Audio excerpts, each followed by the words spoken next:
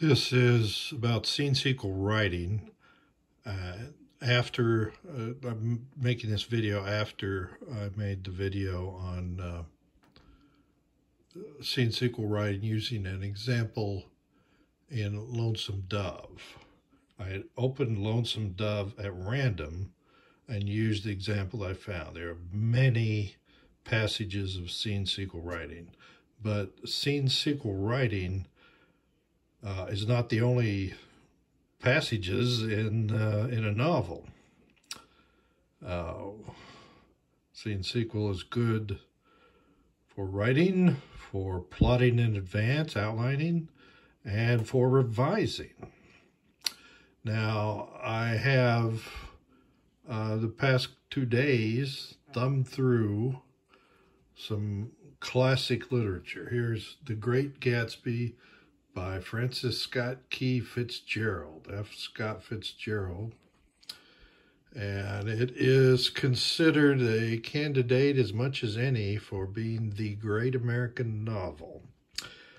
Uh, it was not one I was assigned to read in high school. Things have changed. It's my understanding this is often assigned to read, uh, places where it's not banned, but uh, great novel.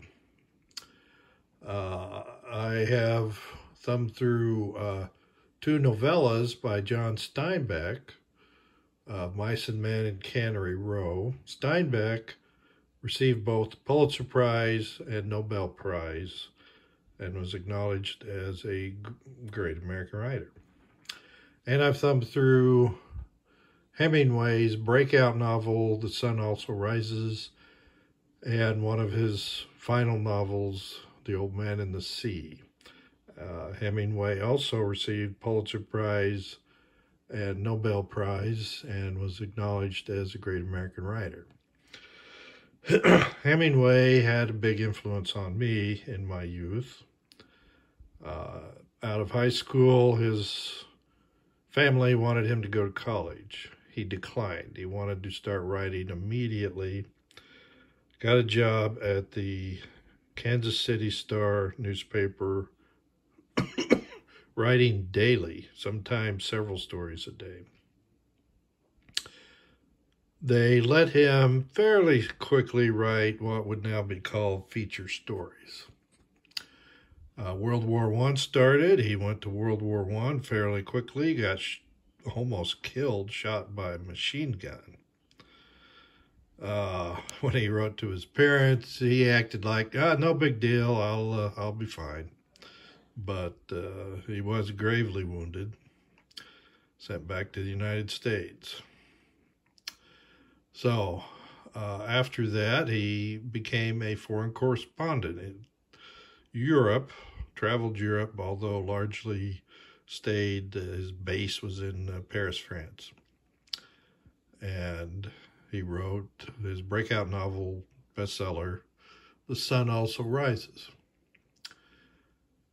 Uh, the most valid criticism I'm not getting into a complete story about The Sun Also Rises, but it was journalism. He just rewrote about a week of his life, uh, wrote it as fiction, changing the names, changing very little of the incident.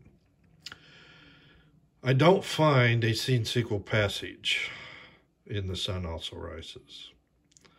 I also don't find a scene sequel passage in The Old Man and the Sea. Now, I did not completely reread them. I thumbed through them.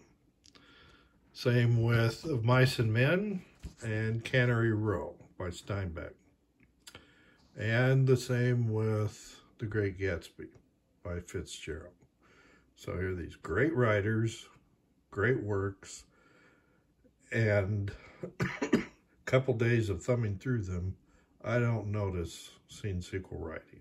I'm a big fan of scene sequel writing. Uh, and I can I can show you many, many, many novels where the scene sequel writing is clear. Both the Swain version and the Campbell version. The Swain version is uh, goal, conflict, disaster, reaction, dilemma, decision. Campbell version's more complicated, but it also has uh, incident and reaction. So um, I'll just take a, a, brief look. I could have selected passages in any of these, but we'll look at uh,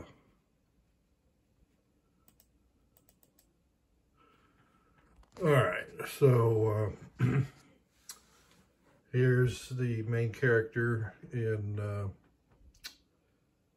uh, he's going fishing with a buddy in Europe, Italy, I think. And uh, they have bought a couple of bottles of wine for their picnic lunch while they go fishing in the daytime. How about putting that wine in the spring up the road? All right. So he tells what he did. I found the two wine bottles in the pack, carried them up to the road. A spring flowed out of an iron pipe. There was a board over the spring. I lifted it,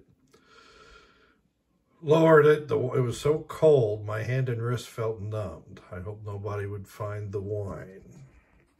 So then he goes to go fishing. And he's fishing. I did not feel the first trout strike. When I started to pull up, I felt that I had one. I brought him the rod bit almost double. And so forth. A little while, I had six. They were all about the same size. I laid them side by side, all their heads pointing the same way, and looked at them. They were beautifully colored and firm, They're trout. Uh, hard from the cold water. It was a hot day. So I picked some ferns, packed them in the bag, three trout on a layer of ferns, another layer of ferns, three more trout, covered them with ferns. They look nice, blah, blah. It's very hot. So, uh, takes a break. And his buddy comes. He was fish, fishing at a different location, which was normal. Um, I walked up the road and got out the two bottles of wine. They were cold and so forth. Ooh, it makes my eyes ache. Let's try it. The cold helps it. So this is just recitation of incident. This is not scene sequel. I mean, he had a goal, go fishing and then eat lunch and drinking some cold wine. But uh, I don't see the scene sequel form. I don't see it in the novels I just discussed. Sun Also Rises, The Old Man in the Sea, Mice and Men, Cannery Row, The Great Gatsby. Fitzgerald wrote more than The Great Gatsby, but that's the only one I've uh, looked at recently. So you don't have to write scene sequel form. Uh, in fact, both The Sun Also Rises and The Great Gatsby are now in the public domain. I don't know if I'm going to do this, but I have thought about rewriting them for the purposes of teaching about scene sequel form uh, in scene sequel form. You're going to say, oh boy, I can hear some critics now. Most would scoff and say, oh, that's so ridiculous. I'm not even going to criticize it. But again, my point is not to say it would be better just to teach the form using some well-known writing that's in the public domain.